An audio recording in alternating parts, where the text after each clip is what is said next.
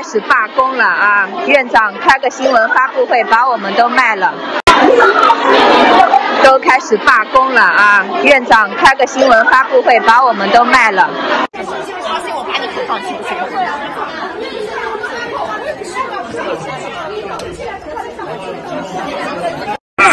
拍，你要拍了拍，为什么不能拍？对呀，敢敢做就让我们拍，敢做就让我们拍，为什么不拍啦？各位友友，大家好，欢迎来到希特勒视角。那么今天呢，想和各位友友来聊一聊，嗯，几个集中的新闻。一个呢，就是关于东航否认了第二个黑匣子被找到；另外一个呢，就是上海的一个女护士非常不幸的因为哮喘病的发作，被自己的医院以防疫为由拒收，最终不幸。殒命的这样的一个新闻，这两个新闻实际上它有着非常密切的这种联系。为什么这么讲呢？就是东航日前发布了说一个道歉函，他说由于我们的工作失误，核实相关事实不严谨，今天上午错误的发出了关于找到第二个黑匣子的失实消息。特向读者郑重致歉。这是中国民航报社的一篇致歉函。那么在之前，他们宣称已经找到了第二个黑匣子。大家都知道，黑匣子是整个飞行器当中最关键的一个东西。为什么这么讲呢？因为一旦出现飞机的故障、失事的情况，由于它的设计当中的这种耐高温、耐潮湿的这样的一种设计，使它即使在非常剧烈的爆炸、火灾当中都不会受损，或者在水下都不会受损，长时间的可以保留，便于后期在事故追踪的时候，可以对相关的事故原因。进行客观的分析，这也是找到坠机原因的最直接的、最重要的一个证据所在。因为包括整个飞行员与塔台的之间的沟通，所有相关的飞行数据，飞行员他们的通话录音，包括自己在机舱内的讲话的这些内容，都会被记录下来。那么，本来这是一个非常严肃的事情，那么结果。被中共搞了这么一个乌龙，那么也使外界不断的质疑，到底是得而复失呢，还是为了掩盖真相，就把第二个黑匣子索性隐藏起来了？有什么不可告人的秘密？呃，从这个外界的质疑，我们就可以知道，中共它是一个为什么？我觉得中央党校的前教授蔡霞老师讲的那个观点，我很认可，就是。这是一个破产的集权政权，这个破产最核心的破产，不是你的财产上、经济上的这种破产，而是你的信誉的破产。就像我们今天看到俄罗斯受到了西方的制裁，这个国家它的货币不再值钱，他的股票没有办法交易一样。实际上，并不是说他那些个上市公司。他的生意已经一落千丈了，并不存在这样的情况，并没有瞬间被打回原形，而是因为对投资者而言，最核心的东西就是你这个公司是不是还有信誉，还有信用，我对你有没有信心？公司如此，国家也如是。就是对俄罗斯之所以大家不会在那里考虑投资的问题，除了制裁的原因之外。最重要的就是对这个国家，他不再有信心了。你的国家已经没有信用了，在国际上。所以，中共也是这样，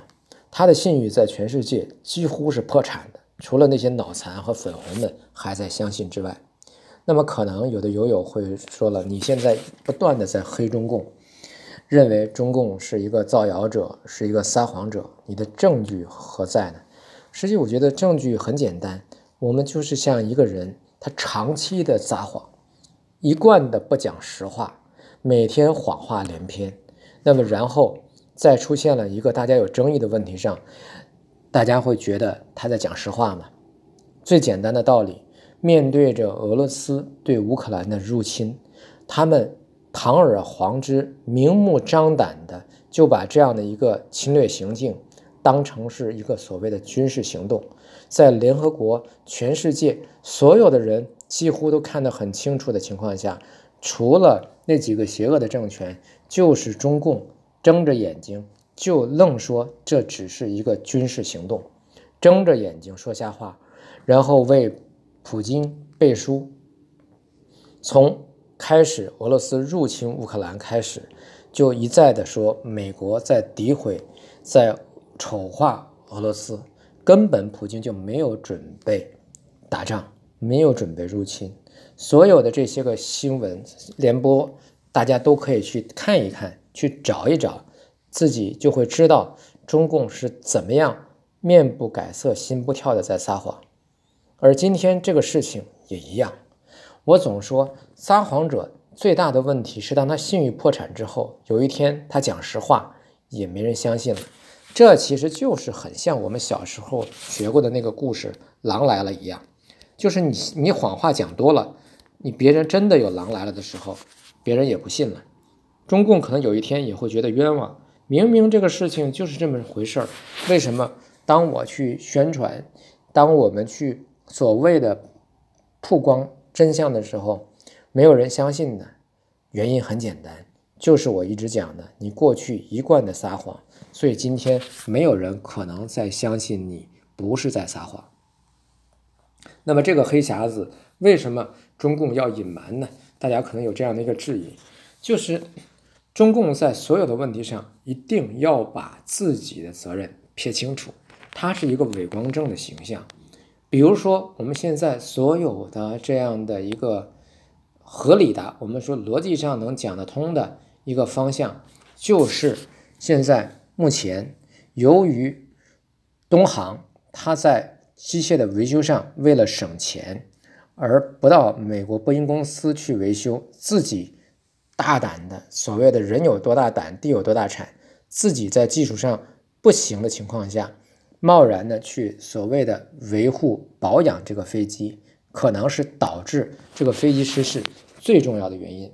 虽然东航的董事长讲说，在新闻发布会上讲，东航在这个维修的这个费用上并没有偷工减料，而且还是在上涨的，有每年有百分之十几的这样的一个增长，这种观点是站不住脚的。所谓的偷工减料，不代表着意味着你这个和你的之间的所谓的我的这个维护保养的费用在增长之间没有必然的联系，什么意思？你这个维护保养的费用增长了，有可能是被你董事长贪污了，有可能是被中间所有的人瓜分了，而不一定用在了所谓的这个飞机的保养上。即使真的用在了飞机的保养上，因为你们的愚蠢，由于你们的专业度不够，可能采购了不适合的这种零部件，很多的钱被浪费掉了，而飞机并没有得到实质性的这样的一个保养维护。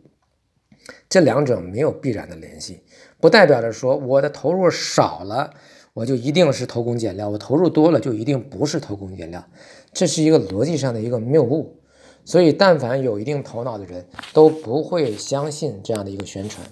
所以，他们掩盖这个所谓的一直在宣称我们的黑匣子有可能受损，上来就要讲这样的话，核心的原因就是为了自己，为了将来掩盖真相，做一些铺垫。当他们如果发现所有的证据通过数据的分析发现，哎，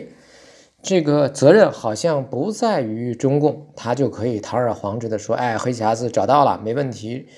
直接的证据是什么什么的原因，可能是本身飞机的问题，就把责任推给波音。那么由于波音公司呢，一直是中国最好的、最要好的这样的一个朋友，因为这个中国市场是巨大的，是波音最重要的客户之一。所以，波音在美国国会一直帮助中国在游说，一直在帮助中国在关说，包括中国当初的入世，也是因为波音的游说导致的。美国的前国防部长还在波音担任董事，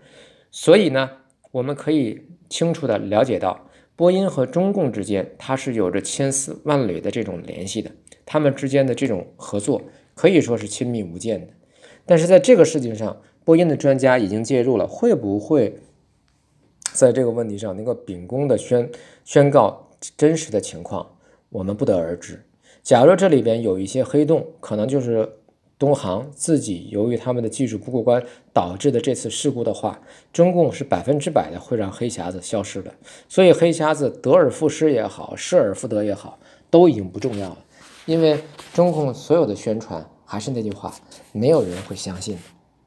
那么，同样的是东航，因为东航本身是是上海的一个公司嘛，它是合并了几家公司以后组成的这个东航。那么，我们要知道这个本身呢，上海最近还出了一个非常令人扼腕叹息的这样的一个事情，就是上海的一个。女护士因为哮喘病复发，结果导致了她本身最后自己不幸的殒命，而这个殒命的本身呢，就是完全的因为我们的防疫政策出现了重大的问题。这个护士呢是三月二十五号晚上，他自己发生了哮喘，结果在自己工作的医院去救求救的时候，因为自己的医院他当时个急诊已经在封闭的状态，不接诊。那么因为防疫的要求，现在所有的上海的医院都不再接诊。所以很多的次生灾害就不断的发生，这就是其中最典型的一起。结果他的哮喘发作，这个工他自己工作过的医院，他工作了二十多年，那么没有办法去接诊，他就辗转的又去了其他的医院，都被拒。最后好容易有一个医院收治了，但是因为时间过久，结果最后不幸罹难。那么这件事情引发了网上的。剧烈的挞伐，因为特别是当时，包括打幺二零都打不通。那么在这样的情况下，我们就知道中共的防疫政策有多么的非人性。其实现在综合的判断，就是这种奥密克戎病毒导致的死亡率远远的要低于流感的死亡率。这不光是外国专家给出的数据。包括中国专家自己也都承认，但是即使是这样的情况下，为什么还要进行这么劳民伤财、这么没有人性的这样的一种去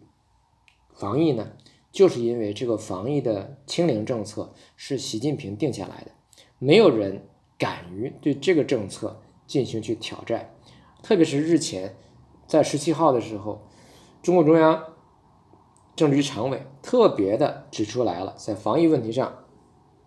绝对不能松懈，把责任要压实到所有的个人，这就进一步的导致了那些本来觉得可以通过科学防疫解决现在目前所谓的奥密克戎不断的在流行的这样的一种状况情况下，还要恢复到全面清零的这个政策本身。我昨天在我的节目里好像也提到了。我的一个上海的朋友，他现在就被封闭在自己的小区里，在家里也是苦不堪言，觉得不断的骂街，认为中国的经济已经没救了。就像张明教授讲的，面对着这么多的失业，面对着这么多的企业倒闭，我们看到的还是一片经济向好。所谓不是看到，就是我们的报道都是一片经济向好的情况，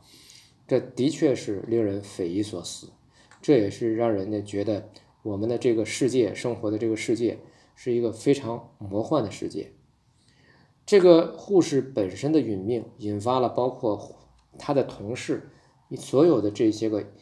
医务人员，他们极大的反弹。他们极大的反感。但是这还不是问题的关键，更大的关键在于这个我们的中共的宣传上竟然有一个题目，昨天我看到了，现在已经看不到了，在搜狐的新闻上，他们做了修改，竟然无耻到这个题目写写到了上海某护士因就医不及时导致殒命。题目是这样，当然它里面的内容还是基本上还原了事实的本身。但是你光看这个题目的话，你就会觉得特别想把这个写这个报道的人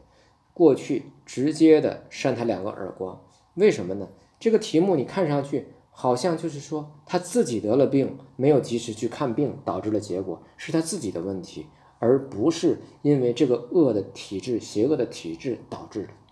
今天我们看到这么这么多的这种次生灾害，在中国，从西安、从武汉到西安到河南，一直到了今天到了上海，不断的发生这样的事情。那么我们还在坚持一个所谓的社会化清零的这么一个愚蠢的政策，这难道不是习近平之恶吗？孙春兰在陕西。当时考察的时候，已经在说不可以拒绝救治这些个生命垂危需要救治的病人，因为本身防疫本身就是为了救人命的，结果你导致人命不断的消亡，那你和当时所谓的防疫的目标就已经背道而驰了。但是为什么下边没有执行这样的一个所谓的一个副总理的指示呢？原因很简单。我不救一个人，最多落得的是一个所谓的道义上的被谴责。如果因为我救了这个人，导致了感染数量的增加，可能我的乌纱帽就没了。在中国的这种体制下，对于一个官员来讲，他宁肯忍受着道德的这种拷问、民意的这种压制，他也不愿意丢掉乌纱帽，因为他拿到这个乌纱帽是付出了巨大的代价的。他就是通过各种的撒谎，自己放弃自己的底线，放弃自己的人格，一步步爬上那个位置的。如果他没有了这个官位的话，他又重新的要回到零起点，而他奋斗的这个过程，实际上也是非常的艰辛的。是我还是讲出卖了良知，出卖了肉体，出卖了灵魂，能够拿到这样一个位置。所有的中共官员其实都一样，并没有说谁是所谓的那个无辜的，在暴雪之下、雪灾之下有一片雪花，它是清白的，没有，没有一片雪花是这样的，因为这个体制就是这么打造的，它就是扭曲人性的，所以，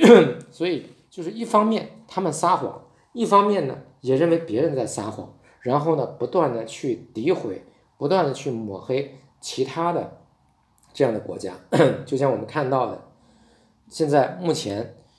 外交《环球时报》又引用了所谓的英国的一个不入流的小报的报道，说整个的这次的新冠流行，就是因为美国包括莫德纳公司他们导致的这个制造的这个病毒，就为了赚钱。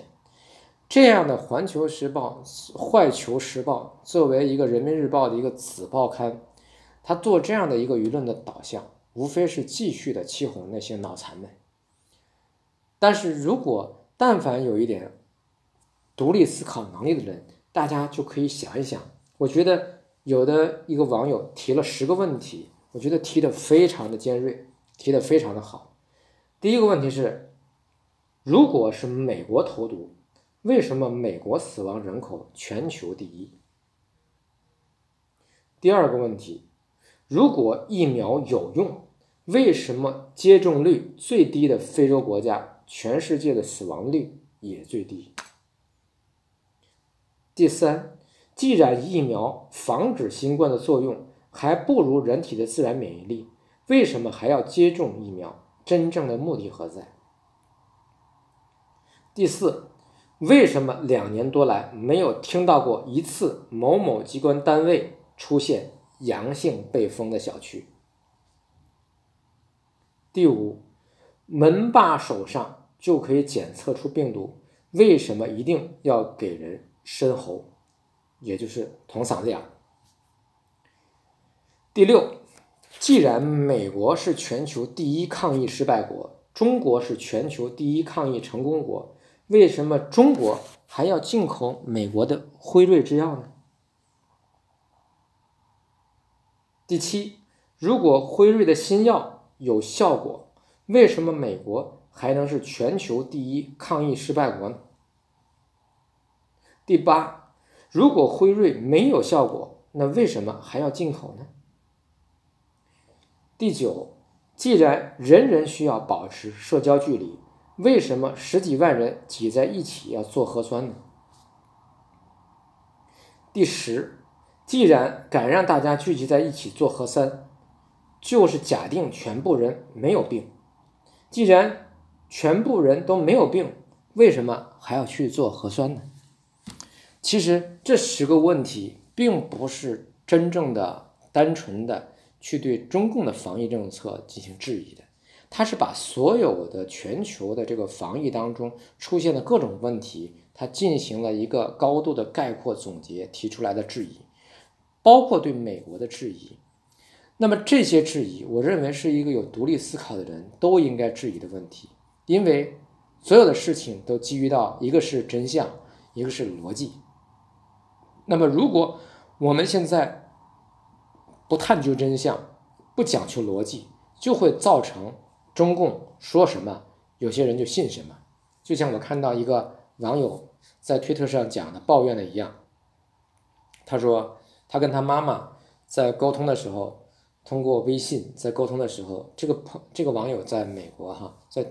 这个推友在美国，他说他跟妈妈在通信的时候，视频的时候，他妈妈讲。我真的，因为他在美国，他说跟家里报平安，说我们到美国了。他妈妈就讲，我现在听到“美国”两个字，都感到恶心，都不愿意听到“美国”两个字。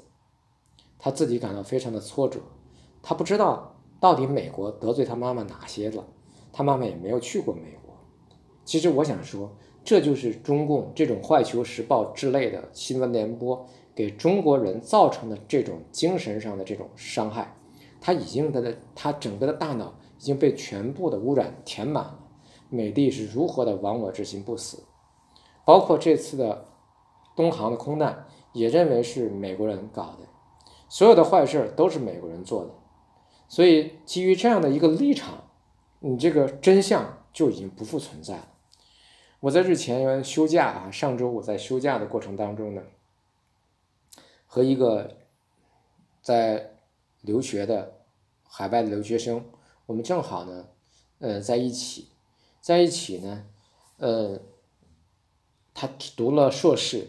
啊，对中国的历史的知识也比较的了解，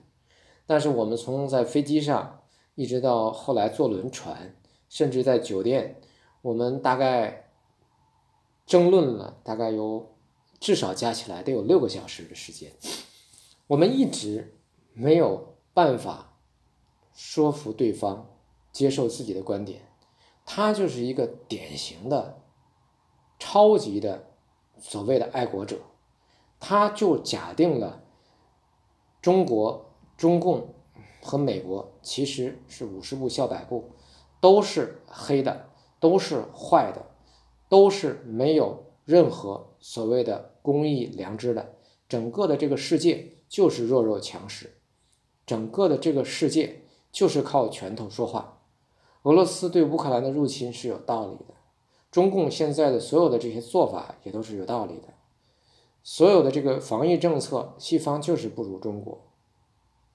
历史上所有发生的这些问题，都是基于到站在统治者的这样的一个角度，他们必须采用的一种手段跟策略，包括文革也也好。你跟他讲文革，他就讲美国印屠杀印第安人；你跟他讲乌俄罗斯入侵乌克兰，作为一个联合国的常任理事国，是对社会秩整个的世界秩序的破坏，他就跟你讲这个秩序是美国制定的，本来就不合理。所以聊来聊去，当我们分开了，休假结束了，我在想这六个小时我们的争吵有没有意义？我现在想。它既有意义也没有意义。为什么呢？如果说它有意义，就是我们各自再一次的重申了自己的观点，也开始我在思考，站在他们的角度是怎么思考问题的。如果说没有意义，就是说我还是最早讲的，你面对着一个信仰基督教的人，一个伊斯兰的一个人，你是很肯定很难说服对方改宗教信仰伊斯兰教的。同样的道理，一个基督教的教徒去说服伊斯兰人改换他的宗教也不可能，大家的立场完全的就不一样。那么为什么会有这样的问题？就是因为他已经先入为主的接受了中共的那套洗脑宣传，他不愿意再接受新的东西，所以面对着黑匣子说找到了，他相信；说黑匣子丢了，他也会相信；说上海的护士死了，他就认为这样的事情在美国也会发生，在中国的发生很正常，因为为了更大多数人的这种所谓的保住更。大多数人的这种命，这个防疫，这是要付出的代价。所以基于到这样的一个底层的这样的一个逻辑，所以这种争论也就变得毫无意义了。所以在我看来，立场它可能决定了你所有的这种世界观，你的所有的认知，所有的这个出发点和逻辑。好了，今天和各位友友就分享这么多，谢谢你们的收听收看，请点赞、订阅、转发支持我们的节目，谢谢。